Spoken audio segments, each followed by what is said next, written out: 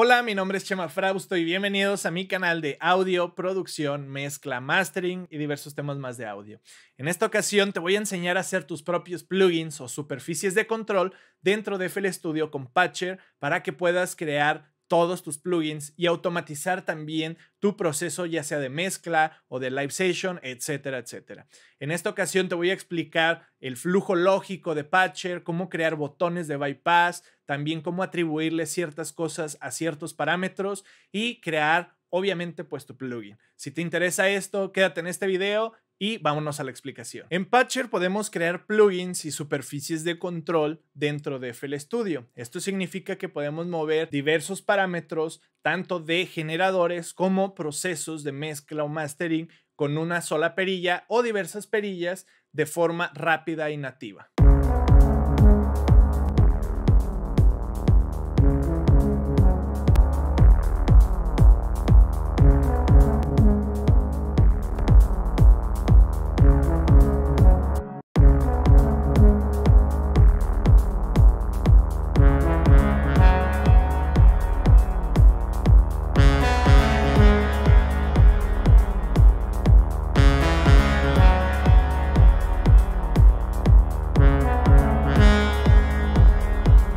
Vamos a ver la interfaz de Patcher que tenemos aquí en pantalla.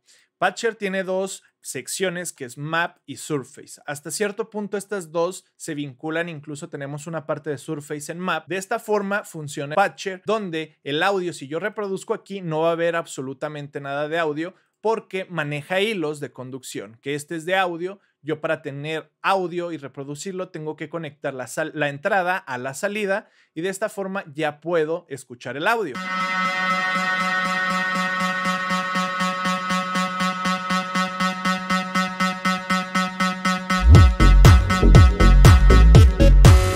Podemos apreciar que ya tenemos audio. Ahora, pues se pinta de color naranja. Tenemos otro que es un hilo rojo, que es para los parámetros de Surface, que ahorita vamos a ver, y eventos para controladores MIDI. En Surface vamos a poder crear perillas, knobs, faders, etcétera, etcétera. Aquí para agregar plugins, quiero agregar, por ejemplo, el ecualizador paramétrico. Lo que tengo que hacer es desconectar a su entrada, luego a su salida y ya tenemos el audio. En este caso, para abrirlo, doble clic. Por ejemplo, yo quiero crear un knob que me haga un filtro con este ecualizador. Lo que tengo que hacer es pues crear el filtro aquí directamente y ya lo tengo. Entonces me voy a Surface, creo lo que es el knob, por ejemplo aquí doy clic derecho, knob y por ejemplo este lo puedo hacer más grande y lo voy a renombrar, que diga filtro. Ya teniendo este filtro, lo que puedo hacer es que si me voy a Map, tenemos esto aquí, puedes apreciar que se pinta y dice filtro. Yo lo arrastro aquí directamente y se me despliega todo esto. Yo lo voy a asignar al parámetro banda de frecuencia y ya lo puedo mover. Le doy clic derecho, editar y listo, mira, ya lo puedo mover. Pero ¿qué pasa? Yo no quiero que nada más tenga sus valores, quiero que tenga un valor predefinido y hasta dónde pueda llegar el NOV. Entonces eso es lo que vamos a hacer. Para esto lo tenemos que quitar y agregar otro plugin llamado XYZ. En XYZ tenemos una gráfica, la cual es la siguiente. Estamos en la posición X, coordenadas, output mapping, y esta es la posición. Por ejemplo, si yo quiero que este se empiece de 25 Hz, lo posiciono, copio su valor, clic derecho, copiar, y la entrada, esta es valor mínimo, máximo y su salida. Entonces tenemos que decirle que la entrada tenemos que tener este valor.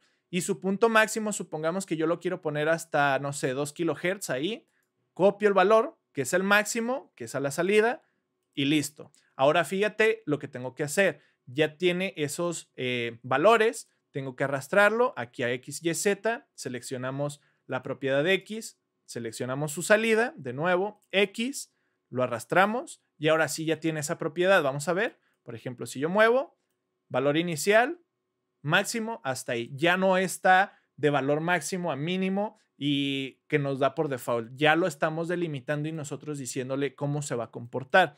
Ahora, si yo quiero darle otra atribución a esto, supongamos que por cada que aumente la, resonancia, también vaya aumentando. Entonces vamos a tomar esos valores. Aquí su valor mínimo, nos vamos a Y ahora, valor mínimo, que es este, copiamos, lo pegamos aquí, valor mínimo. Su valor máximo, queremos que sea, no sé, por ejemplo, esto. lo copiamos, pegamos y ya lo tenemos. Ahora vamos a darle esa atribución de nuevo. Aquí agarramos, lo metemos a X, Y, Z, estamos en la sección Y, salida de nuevo a Y y ahora sí buscamos el parámetro que es bandwidth. Aquí está bandwidth de la banda 1 y ahora sí ya tiene esa atribución. Vamos a ver. Entonces ya lo podemos utilizar.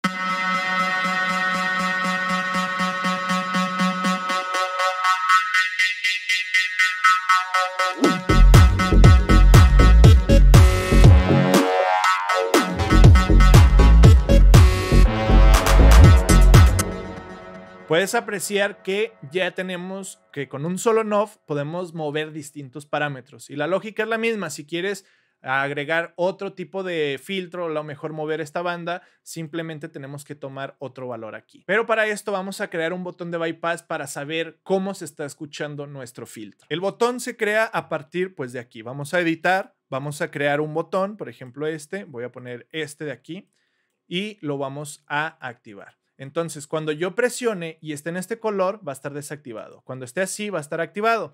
Pero vamos a atribuirle esas propiedades. Lo que tenemos que hacer es irnos a Map y si vemos, aquí ya nos aparece el botón, lo vamos a renombrar, lo podemos renombrar como Bypass para no perdernos. Y listo, ya lo tenemos ahí, Bypass. Ahora lo que voy a hacer es añadir un plugin más que es Fruity Balance. Este Fruity Balance lo voy a encaminar aquí y luego al ecualizador, entonces va a estar en esta cadena. Lo que yo voy a hacer ahora es que en la sección Z que tengo yo aquí, voy a hacer que ese Fruity Balance, cuando esté activo así, totalmente de este color, tiene que estar a full. Y cuando yo active, se tiene que desactivar o bajar el volumen. Entonces, ¿cómo lo vamos a hacer? De nuevo, copiamos el valor, nos vamos al valor máximo y lo pegamos. Luego ya le vamos a atribuir ese valor, lo pasamos de nuevo a XYZ, valor Z, salida también Z y lo acercamos a Fruity Balance en el volumen. Y así ya tiene esa atribución. Entonces vamos a ver. Pero aquí hay un problema. Yo presiono y baja lentamente. Presiono, sube lentamente. Yo quiero que sea como un botón. Presiono, pum, baja. Presiono, pum, sube. Entonces lo que voy a hacer es darle otra atribución a esto, que es que sea como un pulso. El pulso es totalmente como un escalón. O estoy abajo o estoy arriba, no va a ser progresivo. Entonces vamos a ver cómo funciona. Ahora si baja y sube como botón, ¿te fijas? Ya no hay esa sensación como pequeña. Entonces aquí yo ya puedo ver que ya tengo el bypass. Voy a agregar otro XYZ y otro Fruity Balance para crear el bypass totalmente mejor. Entonces agrego lo que es el Fruity Balance, voy a crear otra señal aquí y otra señal acá. A este Fruity Balance lo voy a llamar como in wet, que es la señal que va a tener el filtro. A esto lo voy a llamar in DRE, que es la señal que no va a tener el filtro. Entonces voy a agregar el otro plugin XYZ y vamos a hacer lo mismo. Le vamos a dar esa atribución ahora para que tenga lo diferente. Si aquí este va a estar abajo, pues este va a estar arriba. Entonces va a ser lo inverso coordenadas, output mapping. Entonces, este tiene que estar arriba, 80%, este tiene que estar abajo y en modo pulso. Prácticamente así lo tenemos que hacer. Ya tenemos lo inverso, le vamos a dar la atribución, de nuevo, arrastramos, valor X, salida, valor X, de nuevo, y lo arrastramos aquí, a el volumen. Entonces vamos a ver si ya estos dos tienen esos valores para hacer el DRE y el wet o el bypass. ¿Te fijas? Ahí está activado, desactivado. Más bien, ahí está activado, desactivado. Entonces es a la inversa, nos equivocamos un poco. Ahora sí, esto es a lo inverso. Y ahora sí, así activado, desactivado. Activado, desactivado. Y ahora sí, lo podemos poner a prueba.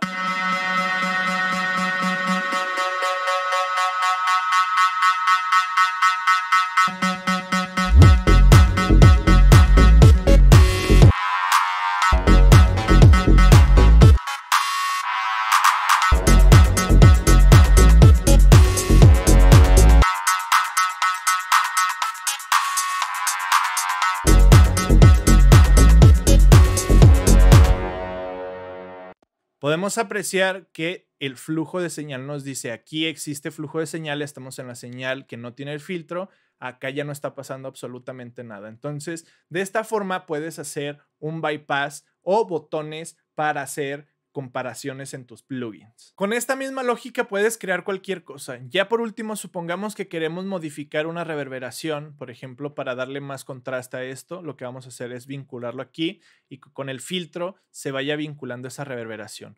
¿Qué vamos a hacer? Pues voy a vincular ahora lo siguiente. Voy a decirle que cuando se esté activando el filtro, yo pueda tener un control independiente de lo que es Dree y Wet para darle esa textura. Entonces lo vamos a poner ahí y vamos a crear un slider. Entonces vamos a editar, creamos un slider o, fader. Pongo este, por ejemplo, este aquí para darle esa intensidad. Le voy a dar aquí que se llame, no lo sé, reverberación. Así lo vamos a poner. Que se llame reverb.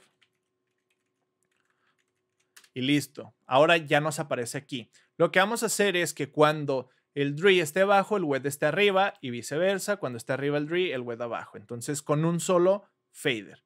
Entonces lo que vamos a hacer es moverlo aquí. Tenemos disponible el valor que es Y, lo abrimos, nos vamos a la sección que es Y. Entonces cuando este esté abajo, tiene que estar este arriba. Entonces vamos a empezar con el wet. Este está abajo, copiamos su valor máximo, lo pegamos aquí y listo. Ahora vamos a la sección Z.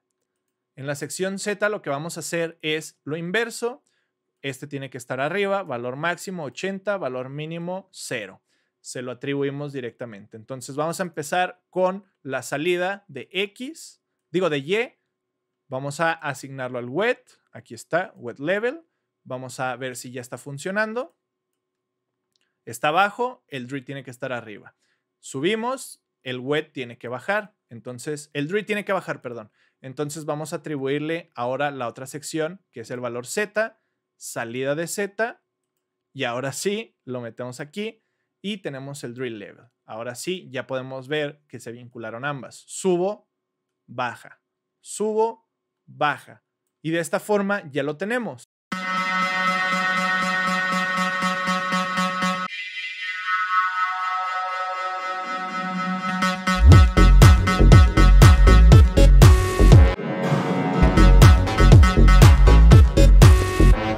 Bueno, de esta forma, con la misma lógica, puedes crear tus plugins. Solamente recuerda que si quieres atribuir ciertos valores, utiliza el XYZ para darles esos valores iniciales, máximos o su comportamiento.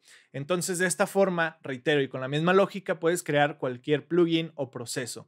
Si tú estás haciendo un plugin con Patcher o lo hiciste, etiquétame en Instagram, me puedes seguir, repostéalo en una historia, etiquétame y yo lo voy a repostear para que más productores vean lo que hiciste. Al igual que si quieres que haga shorts, pequeños videos de hacer ciertas cosas en Patcher, solamente comenta aquí abajo Patcher y yo voy a estar haciendo esa serie de shorts para que puedan aprender a utilizar Patcher con mayor profundidad. Entonces, espero que este video haya sido de gran ayuda. Si es así, realmente deja un comentario, comparte, revienta ese botón de likes, por favor, para que el algoritmo de YouTube posicione mejor estos videos y llegue a mayores personas. También te comento que estoy ofreciendo servicios de mezcla, master, clases online, al igual que las membresías del canal donde tengo de 30 a 40 videos exclusivos de mezcla, mastering, producción de instrumentales de cero a final, desde producción, teoría musical, mezcla y masterización, ingeniería en audio optimizada, entre diversos temas más.